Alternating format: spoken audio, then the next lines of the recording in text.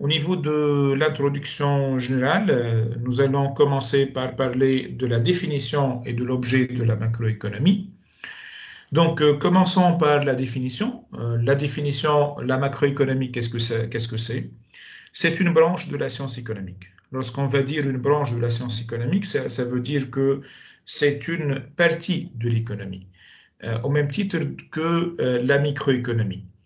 Euh, donc, euh, euh, la science économique, d'une façon générale, c'est une science qui comporte plusieurs branches ou bien plusieurs éléments. La macroéconomie est une partie de, l'économie, donc c'est une branche de cette économie. Qui va se charger de faire quoi? Qui va, se, qui va permettre d'analyser la relation entre les agrégats ou bien entre les agents économiques d'une façon générale elle va permettre de réduire la complexité euh, de la réalité économique afin de comprendre cette réalité. C'est-à-dire, lorsque je vais dire réduire la complexité, c'est que elle va euh, permettre de euh, parler un petit peu d'une simplification de la réalité. Si j'ai à reproduire, par exemple, le marché tunisien, je ne vais pas reproduire la totalité des différents agents économiques, mais je vais prendre un modèle qui décrit le marché tunisien. D'où la notion de modèle au niveau de, la macroéconomie. Euh, le modèle ISLM n'est autre qu'un modèle qui décrit cette réalité. Euh, en parlant évidemment de l'objet de, la macroéconomie, nous allons dire que euh, la macroéconomie va permettre de comprendre l'activité économique d'une façon générale dans son ensemble, Ceci va nous permettre en quelque sorte d'utiliser des agrégats qui sont des grandeurs. Lorsqu'on parle d'agrégats, en fait, ce sont des sommations. C'est l'ensemble des, éléments qui vont permettre euh, d'agréger euh, quelques euh, variables ou bien quelques grandeurs d'une façon générale. À titre d'exemple, pour citer quelques exemples d'agrégats, le produit intérieur brut est un agrégat c'est-à-dire le PIB. Il va mesurer la somme des valeurs ajoutées à l'échelle euh, intérieure ou bien à l'intérieur, à l'échelle d'un pays. Le revenu national aussi est un agrégat. Euh, l'investissement national est aussi. L'épargne est de même. La consommation globale. On parle aussi de, euh, du revenu ou bien on parle aussi de l'épargne nationale. S'il vous plaît, un micro sacro celui qui veut, qui veut intervenir peut intervenir, mais dès qu'elle m'a fait l'intervention, sacre le micro.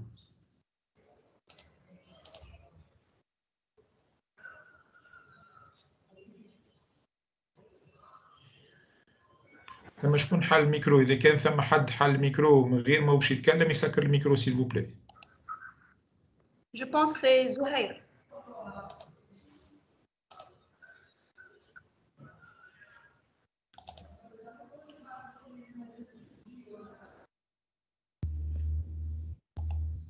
Bien.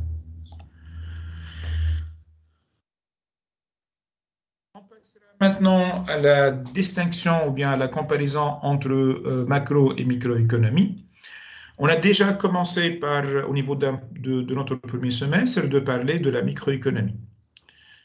Euh, la microéconomie, c'est une branche aussi de l'activité économique qui va décrire le comportement individuel, d'où l'appellation micro. Hein. Donc la notion de micro, ça veut dire que c'est microscopique, c'est individuel. Euh, on a souvent parlé de l'offre et de la demande au niveau de la microéconomie. Euh, donc euh, c'est un, une branche de l'économie qui va permettre de comprendre les décisions des ménages et des entreprises. Rappelez-vous qu'on a analysé euh, la demande individuelle, qu'on a analysé la demande du marché, qu'on a analysé l'offre des entreprises ou bien l'offre de l'entreprise.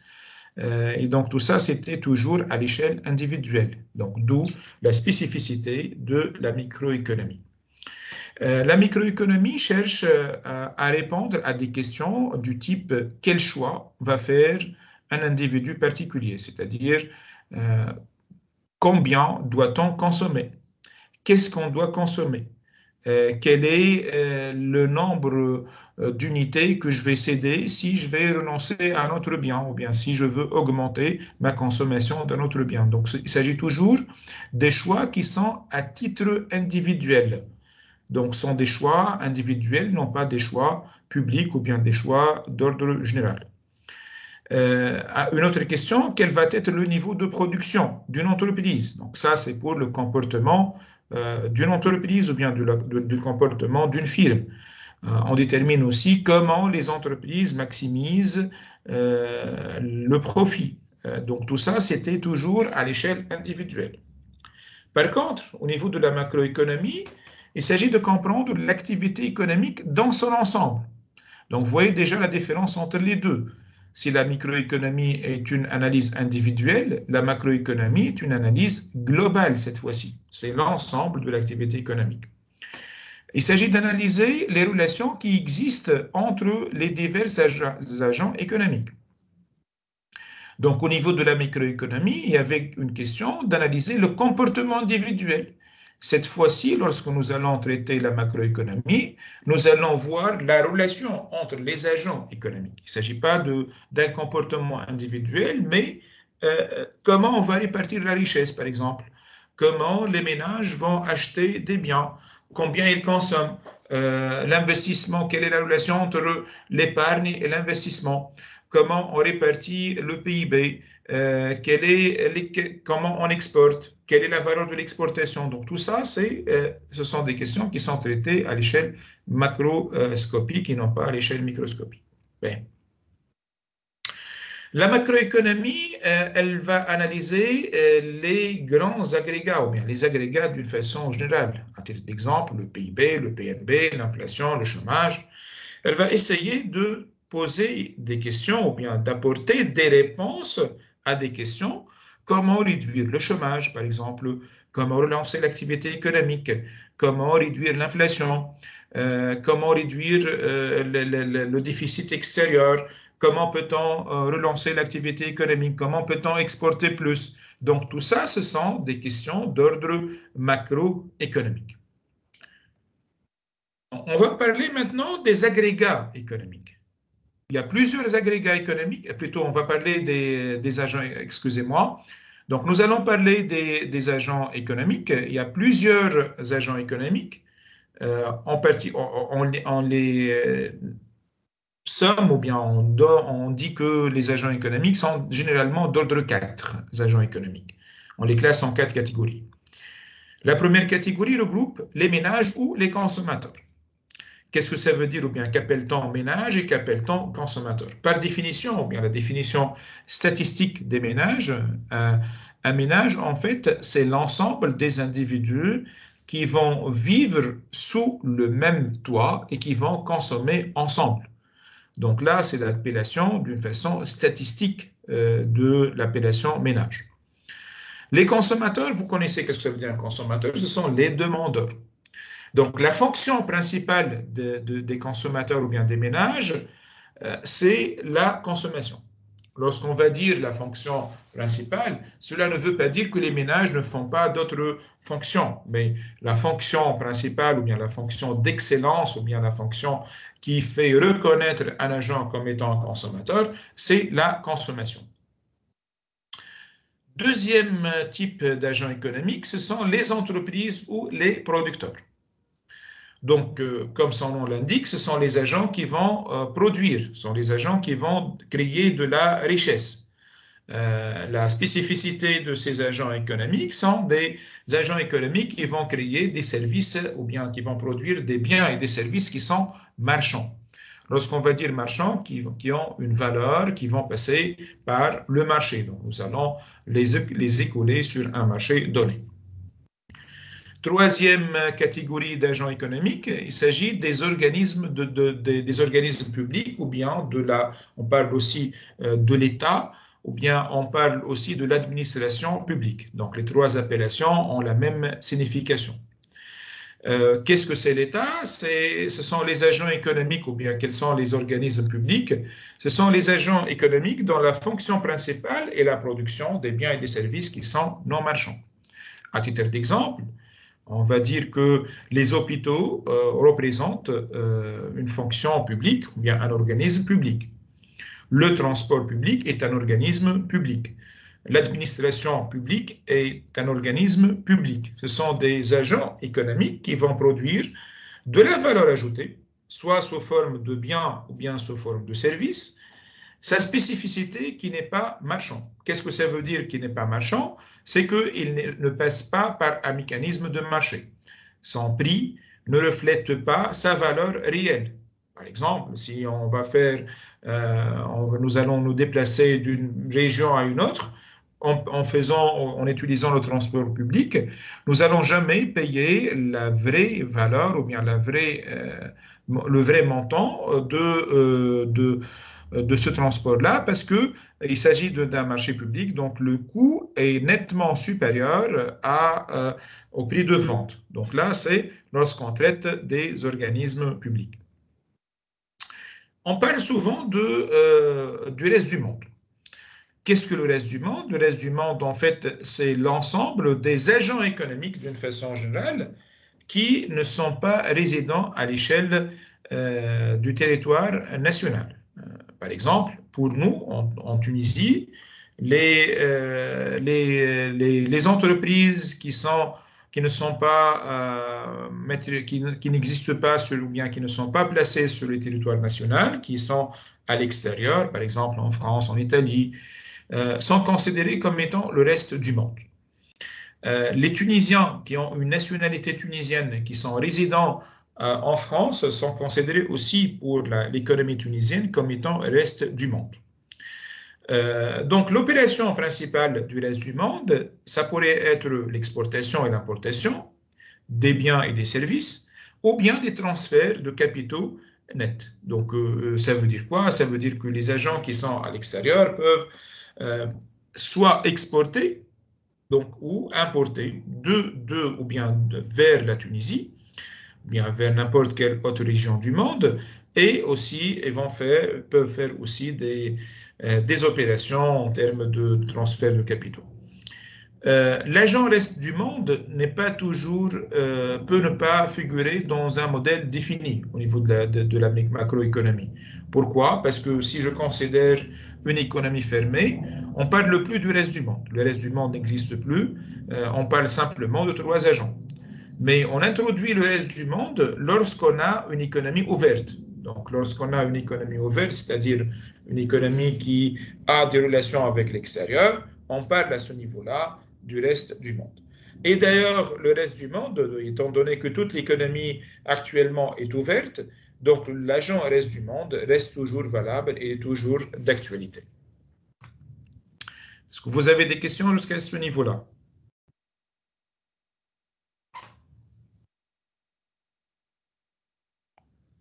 Est-ce que vous avez des questions à ce niveau-là?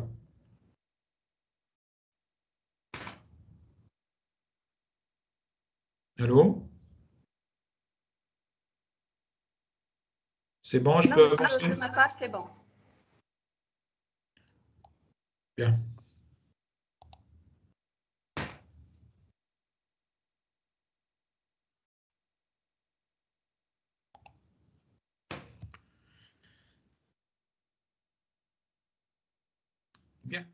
On passe maintenant à quelques mesures euh, de quelques agrégats économiques.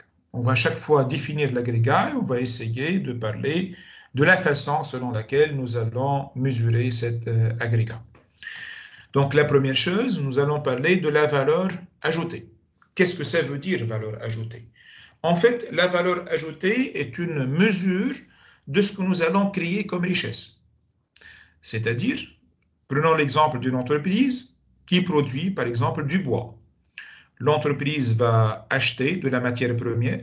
Cette matière première va être consacrée comme étant une consommation intermédiaire.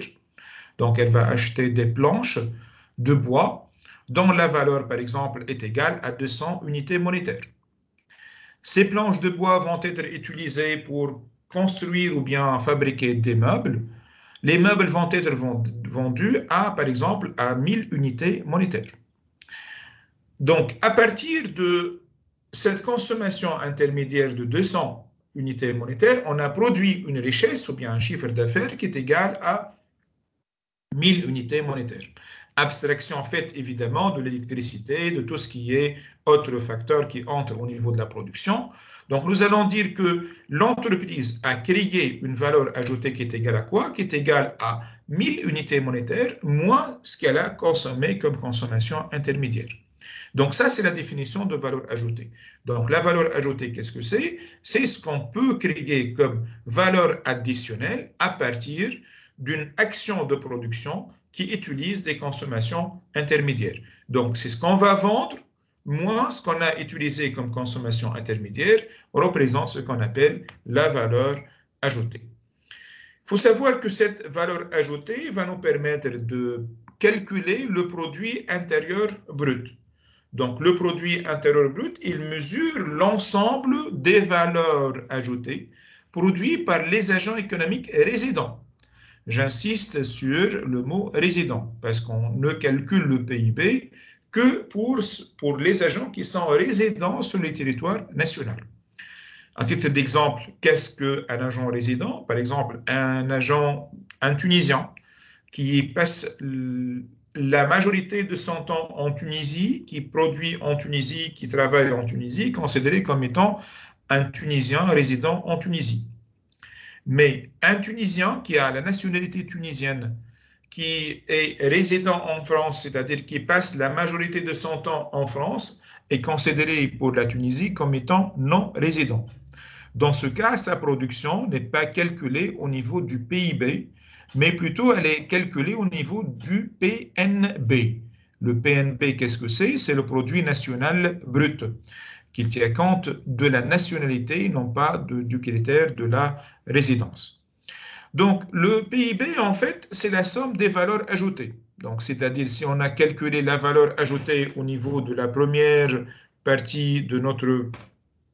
Donc là, on a calculé la valeur ajoutée. Par la suite, nous allons faire la somme des valeurs ajoutées pour nous donner le PIB. Donc, c'est-à-dire, c'est la somme de la production ou bien du chiffre d'affaires moins la consommation intermédiaire. Lorsqu'on parle de chiffre d'affaires, on parle du prix fois la quantité.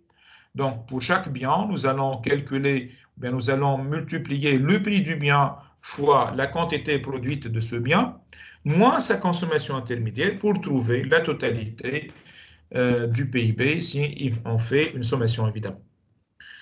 Donc, il s'agit de la valeur ajoutée des entreprises, des ménages et de l'État. Donc, pourquoi on, parle de ça? Parce que on a dit qu'il s'agit des agents économiques d'une façon générale, qui sont résidents. Donc, les agents économiques peuvent être des entreprises, peuvent être des ménages et peuvent être, de, peuvent être aussi l'État. La question qui se pose maintenant, on a dit que les ménages ne font pas de la production, ils font que de la consommation. Là, c'est une spécificité très particulière parce que euh, peuvent être considérés comme étant des ménages les entreprises qui ont euh, une nomination familiale. Par exemple, une entreprise qui appartient à une famille, euh, la création de la richesse qui euh, générée par cette entreprise est considérée comme étant une valeur ajoutée créée par les ménages et non pas par les entreprises. Et donc, du coup, les, ménages peuvent aussi créer occasionnellement de la valeur ajoutée. Donc, le PIB, en fait, est, dans ce cas, peut être divisé en deux parties. Pourquoi on peut le diviser en deux parties? Parce qu'il y a euh, du PIB marchand, c'est-à-dire il y a de, la valeur ajoutée marchande qui a été créée par qui? Par les entreprises ou bien par les ménages, occasionnellement par les ménages qui vont créer de la valeur ajoutée qui va être vendue sur un marché. Le terme marchand, ça veut dire que c'est vendable sur un marché qui a un prix de vente euh, sur un marché. Il y a aussi ce qu'on appelle le PIB non marchand. Le PIB non marchand, c'est un PIB, il s'agit d'une valeur ajoutée qui a été créée par l'État, qui n'a pas réellement de prix ou bien son prix n'est pas égal à son prix de revient. Euh, donc là, on distingue deux choses. Donc il y a le PIB qui est égal PIB marchand plus PIB non marchand. Il faut savoir que le PIB marchand, nous nous pouvons l'appeler la PIB. Pour dire, il faut faire attention, il y a une différence entre le PIB, qui est la somme des valeurs ajoutées, et la PIB, qui est la production marchande, ou bien la valeur ajoutée marchande. Euh, le PIB non marchand, c'est la valeur ajoutée de l'administration publique. C'est la valeur ajoutée créée par l'administration publique. C'est que va produire réellement l'administration publique moins euh, ce qu'elle a consommé comme consommation On va traiter maintenant des problèmes économiques. On a dit que tout au long de, cette présentation que euh, la macroéconomie va chercher à résoudre des problèmes ou bien va poser, va apporter en quelque sorte des réponses à des problèmes. Parmi les réponses, ou bien parmi les premiers problèmes de l'économie, c'est l'inflation. Qu'est-ce que c'est l'inflation? L'inflation, c'est l'accroissement généralisé et durable du niveau général des prix dans une économie d'une façon euh, générale. Donc, lorsqu'on parle de l'inflation, il ne s'agit pas de l'augmentation du prix d'un seul bien, mais il s'agit de l'augmentation générale. C'est une augmentation générale et durable. C'est-à-dire, si j'ai une augmentation générale qui est ponctuelle dans le temps, euh, qui n'est pas durable, on ne parle pas d'inflation, on parle simplement d'augmentation. Par contre, si on a une augmentation qui est durable, et cette augmentation, elle concerne le niveau général des prix, non pas un seul prix, on parle de l'inflation. Ceci nous permet de, dire que euh, pour mesurer l'inflation, il faut se référer au taux de croissance de l'indice général des prix, qu'on appelle souvent par INGP. Euh, et là, en fait, c'est une définition très simpliste lorsqu'on parle de mesure de l'inflation, parce qu'il y a pas mal d'inflation et on peut calculer l'inflation par rapport à un prix donné, plutôt par rapport à un panier bien défini. On peut calculer l'inflation par rapport à des grandeurs bien définies. Tout ça, en fait, c'est plutôt plus développé. Mais ce qu'il faut retenir à ce niveau-là, c'est que si je veux calculer la valeur de l'inflation, il faut se référer euh, à l'indice général des prix. C'est un prix synthétique d'un panier représentatif de, euh, de la consommation des ménages d'une façon euh, générale. On parle maintenant du chômage. Qu'est-ce que le chômage? Le chômage, en fait, c'est ou bien un chômeur, ce sont ou bien les chômeurs, ce sont les individus qui sont en âge d'activité. Donc l'âge d'activité, c'est l'âge légal d'exercer une activité. Par exemple, en Tunisie, l'âge légal d'exercer une activité, c'est de 18 ans jusqu'à l'âge de la retraite. Donc, au niveau de cette tranche d'âge, sont définis ou bien sont dits des chômeurs, sont les individus qui sont en train de chercher activement un emploi et qui, n'ont pas arrivé à trouver du travail. Donc là, sont considérés comme étant des euh, chômages peuvent ne pas être considérés comme des, chômeurs les euh, enfants qui sont en école, ou bien les lycéens, ou bien les étudiants qui sont en train de, suivre leurs études, sont considérés comme étant non chômeurs. Les retraités ne sont pas considérés comme étant des chômeurs. Pourquoi? Parce qu'ils ne sont pas dans l'âge de, légal d'exercer une activité. Les prisonniers ne sont pas considérés comme étant des chômeurs parce qu'ils sont une restriction juridique qui va leur permettre de ne pas euh, travailler euh, durant une période bien définie. Les militaires dans les casernes ne sont pas considérés comme étant des chômeurs parce que euh, parce qu'ils sont en train de ne pas exercer une activité pour un moment donné à cause d'une clause, par exemple, militaire et ainsi de suite. Euh, là, en fait, le nombre de chômeurs est, déterminé par soustraction entre la population active et la population occupée. La population active, c'est la population en âge de travailler, qui travaille réellement, qui est capable de travailler, qui, cherche du travail, et plus ceux qui qui, plus ceux qui n'arrivent pas à trouver du travail, moins la population occupée la population occupée représente l'ensemble des individus euh, qui, qui, travaillent réellement. Donc là, si je veux déterminer le nombre de chômeurs, je fais la soustraction entre population active moins population occupée. Je vais trouver un solde qui représente le nombre de chômeurs. Il faut savoir que la population totale est constituée par euh, la population active et la population inactive. Donc là, c'est la population totale d'une façon générale. Donc, euh, c'est euh, l'effectif global de ceux qui vivent en Tunisie, considéré par, classé plutôt représenté par deux ensembles. Le premier ensemble, c'est ceux qui sont en âge de travailler, qui représentent la population active, et ceux qui sont en, âge de ne pas travailler ou bien qui ont une restriction juridique qui les oblige de ne pas travailler, qui constitue la population inactive. On va distinguer maintenant entre deux théories qui vont nous suivre tout au long de, ce cours, à savoir la théorie classique et la théorie keynésienne. Euh, au niveau de l'ordre chronologique, la théorie classique est plus ancienne que la théorie keynésienne. La théorie keynésienne a vu le jour juste après la, euh, crise de 1929, où il y avait euh, une nouvelle théorie qui va apparaître, qui a été initiée par Jean Maynard Keynes, qui va essayer, qui a, essayé en fait de trouver une solution à l'activité économique ou bien à la crise de 1929 grâce à une révision de la théorie classique. Donc, la théorie classique, en fait, ou bien les classiques d'une façon générale, euh, constitue une théorie qui a été basée sur les mécanismes de marché pour assurer l'équilibre général. C'est-à-dire, euh, les, classiques, considèrent que euh, le marché à lui seul est capable de trouver des solutions à toute récession de l'activité économique, ou bien à toute surproduction, ou bien absence de, ou bien un chômage, chômage ou bien n'importe quelle situation peut être résolue par le marché. Ceci suppose que l'État n'intervient pas dans le cadre d'une économie classique. Le marché est à lui seul de trouver le marché, plutôt de trouver la solution pour un, marché, euh, pour un problème bien défini.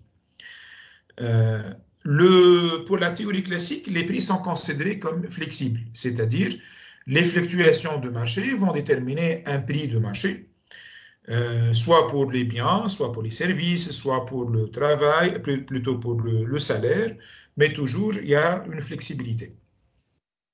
Par contre, pour Keynes, on va dire qu'il y a une insuffisance de la demande globale, pouvant engendrer une situation de sous-emploi. C'est-à-dire que pour Keynes, la situation normale de l'économie n'est pas le plein emploi, parce que les classiques considèrent que la situation de l'économie est une situation de plein emploi. Keynes considère que l'économie passe par, une situation chronique de sous-emploi. Euh, il s'agit d'une situation où il n'y a, pas suffisamment d'emplois, donc il y a suffisamment, ou bien il y a beaucoup de chômage, ou bien il y a un chômage. Pour cette raison, l'État doit intervenir, chose qui est complètement opposée par rapport aux classiques. Les classiques considèrent que l'État ne doit pas intervenir. Par contre, Keynes considère que l'État doit intervenir en exerçant plusieurs politiques. Parmi ces politiques, on peut citer la politique monétaire, c'est le fait d'agir sur la masse monétaire, ou bien la politique budgétaire, c'est le fait d'agir sur le budget de l'État, c'est-à-dire les dépenses publiques, afin de relancer l'activité économique et de relancer la demande globale. Euh, de même, on peut, ou bien Keynes postule, ou bien suppose qu'il est possible aussi de promouvoir l'activité économique grâce à une politique mixte, c'est-à-dire une politique qui euh, passe par à la fois une politique monétaire et une politique budgétaire. Pour Keynes, à l'opposé de, des classiques, il considère que les prix sont euh, rigides à la baisse, c'est-à-dire que euh, les prix ne sont pas flexibles, comme c'est le cas des, classiques.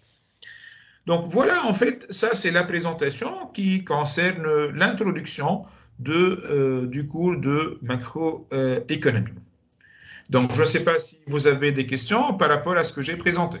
J'ai deux questions. La première, on parle toujours de euh, taux de chômage. Comment on le mesure? On a compris comment mesurer le, chômage, mais le taux de chômage.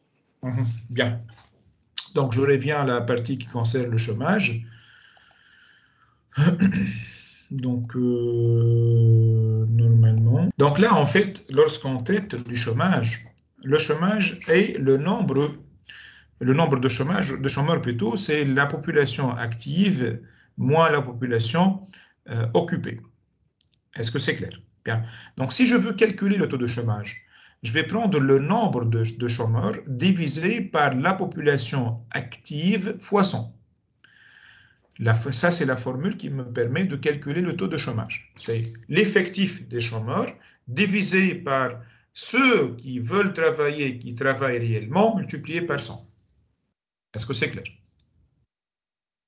Oui, monsieur. Donc, euh, ce n'est pas par rapport à la population nationale, par exemple Non, ce n'est pas, pas par rapport à la totalité de la population nationale mais plutôt par rapport à, à, ceux qui sont en âge de travailler, c'est-à-dire de 18 ans jusqu'à l'âge de, la retraite.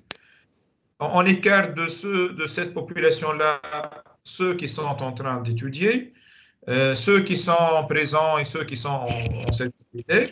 La population qui reste va être utilisée comme base pour calculer le nombre de chômeurs où le nombre de chômeurs est fait à, il y a plusieurs définitions. Par exemple, il y a des définitions qui disent que on ne comptabilise les chômeurs que ceux qui sont réellement euh, qui cherchent réellement du travail, c'est-à-dire ceux qui, qui oublient, par exemple, de s'enregistrer au niveau de l'organisme de, de, de, de, mesure de la population des chômeurs ne sera pas considéré comme étant un chômeur.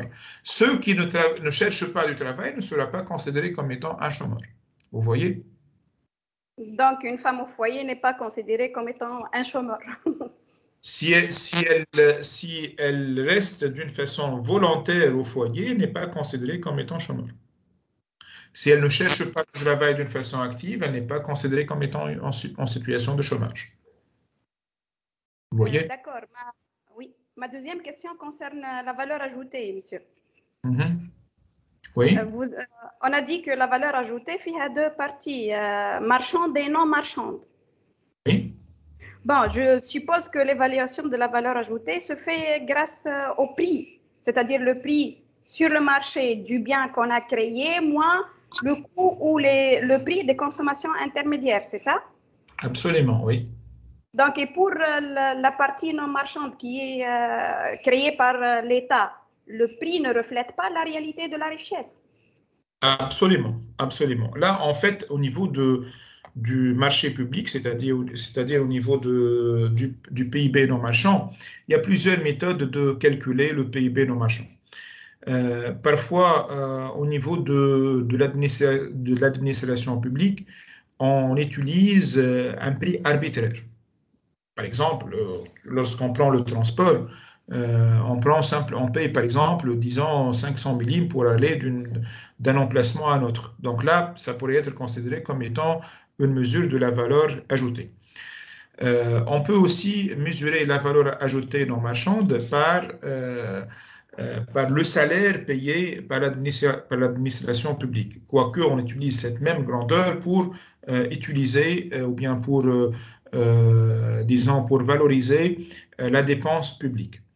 Euh, euh, la question, d'ailleurs, la, valeur marchande pose la valeur non marchande pose généralement beaucoup de, problèmes par rapport au calcul de la valeur non marchande. À titre d'exemple, comment par exemple euh, mesurer le bien-être des individus. Donc là, c'est une valeur non marchande. Le fait d'améliorer le bien-être des individus peut être considéré comme étant une valeur non marchande qui n'a pas réellement une estimation réelle. C'est pour cette raison, souvent, on, fait abstraction de beaucoup d'éléments au niveau du, euh, du PIB, euh, parce que le PIB, d'ailleurs, parmi ses limites, c'est qu'il ne reflète pas la réalité des choses.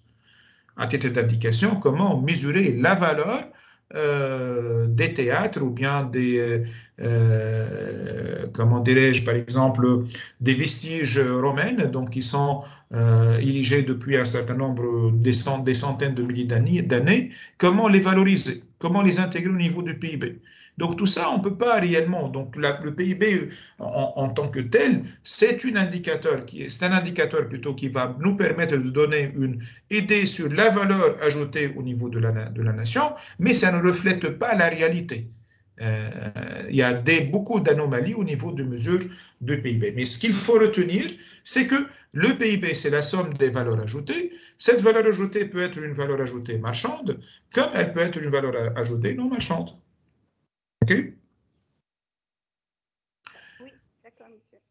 Nous en les, agents résidents, si on suppose qu'il s'agit d'une entreprise étrangère, mais qui, euh, qui fonctionne en Tunisie, est-ce mhm. qu'elle est considérée comme agent résident et euh, sa valeur ajoutée sera incorporée dans le PIB Absolument. Elle sera considérée comme étant une entreprise résidente étant donné qu'elle exerce une activité euh, à l'échelle nationale, mais euh, sa valeur ajoutée va être calculée au niveau du PIB. Mais si je vais calculer le PNB, je fais abstraction de, sa, de, de la création de sa richesse. C'est-à-dire, si je calcule le PNB, cette, cette, entreprise qui est résidente en Tunisie, qui ne porte pas, ou bien qui n'a pas la nationalité tunisienne, sera considérée comme étant une entreprise euh, qui est non nationale. Et donc, sa valeur de la, la valeur de la richesse sera écartée de notre calcul. C'est bon? D'accord, monsieur. Peut-être une dernière question. Euh, oui. Qu'est-ce qu'on peut trouver dans la partie consommation intermédiaire? À part euh, matière première, par exemple La consommation intermédiaire, on peut trouver euh, tout élément, euh, bien par définition, la consommation intermédiaire, c'est l'ensemble des biens et des services qui sont utilisés une seule fois au niveau de l'acte de production pour produire un produit fini. Par exemple, l'énergie est considérée comme étant une consommation intermédiaire tout ce qui est euh, matériaux euh, utilisables et périssables qui entrent au niveau de l'échelle, au niveau de la chaîne de production est considéré comme étant une consommation intermédiaire. Les machines, par contre, ne sont pas considérées comme étant une consommation intermédiaire. L'électricité, elle est considérée comme étant une consommation intermédiaire. Le travail n'est pas considéré comme étant une consommation intermédiaire. Donc, par définition, ce qui est utilisé une seule fois et, qui, et que son utilisation va permettre sa destruction est considéré comme étant une consommation intermédiaire. Merci pour votre attention.